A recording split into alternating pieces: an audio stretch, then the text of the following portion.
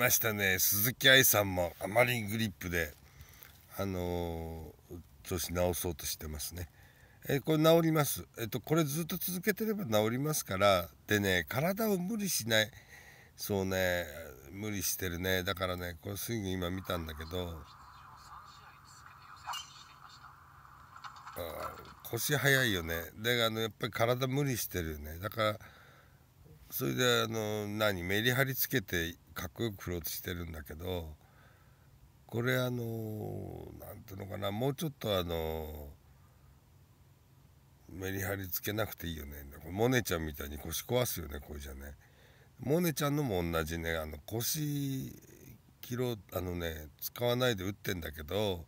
タイミングが切れちゃってるからね。だからうーん使わなきゃいいんですよ余分なとこをね。使わなくてもね同じスピードでもう触れるはずなのねこういう人たちは。だからね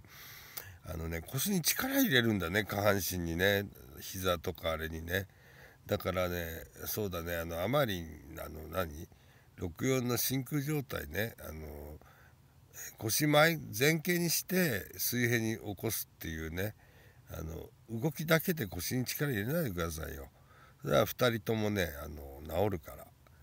あの調子よくなるから腰の負担が悪いのがねあの方向性とかねこういうのがねあの最後無理しちゃってんだね。だってすごい勢いで振るんだもんですごい勢いで振るのはいいんだけどあの何ていうのかな腰までねあのひ膝なのよあのねあそう膝と腰って一緒だからねいい？膝壊したら腰だからあのそれ膝の左膝の